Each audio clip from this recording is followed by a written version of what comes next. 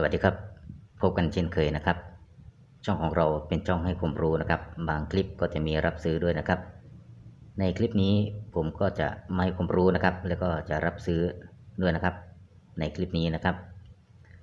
ซึ่งมีเพื่อนๆนะครับก็ส่งรูปเหรียญนะครับ รุ่นนี้นะครับ มาประเมินราคาเยอะแยะเลยนะครับ ว่าจะราคากี่แสนบาทนะครับ ส่งมาเยอะเลยทีเดียวนะครับ ในคลิปนี้ก็เลยจะมาให้ความรู้นะครับ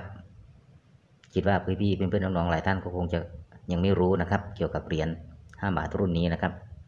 นั่นก็คือเหรียญ5บาทครุฑเฉียงนะครับ ส่วนในเหรียญที่ผมนำมาสาธิตเป็นปีพศ2522 นะครับด้านนี้ก็คือทางด้านหลังของเหรียญนะครับ ขอบนะครับ ส่วนด้านนี้ก็คือทางด้านหน้าของเหรียญนะครับเหรียญรุ่นนี้นะครับก็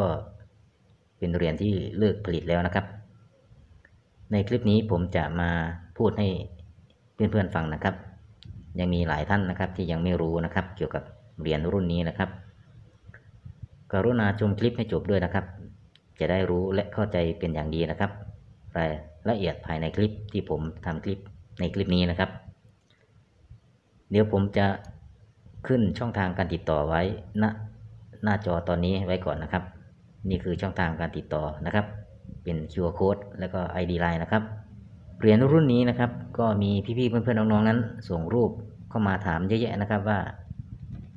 ราคากี่แสนนะครับ จะขายให้ผมในราคาเท่านู้นเท่านี้นะครับแสนสองแสนสามแสนสี่แสนก็ว่ากันไปนะครับ เดี๋ยวผมจะพูดให้ฟังนะครับ ถ้าเป็นเหรียญ5บาทรุ่นนี้นะครับเหรียญ5บาทรุ่นครุฑเฉียงนะครับ ถ้าเป็นปีพศ 2520 หรือว่าปีพศ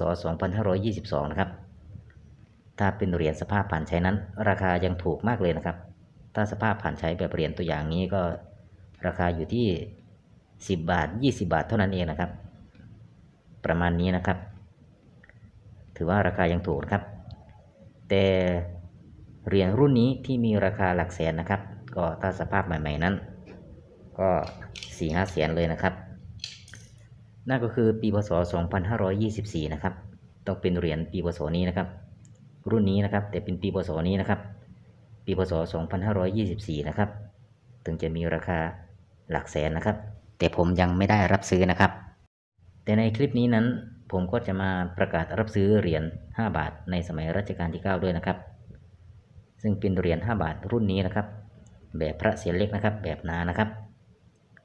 แต่เป็นปีพศ 2540 นะครับ ชมภาพครับ เห็นไหมครับ เป็นปีพศ 2540 นะครับ ถ้าสภาพสวยใหม่ ๆ นะครับ ผมให้เลยเหรียญละ 4,000 บาทนะครับ แต่ถ้าสภาพหย่อนสวยลงมา ราคาก็จะลดหย่อนลงมาตามสภาพความสวยของเหรียญนะครับ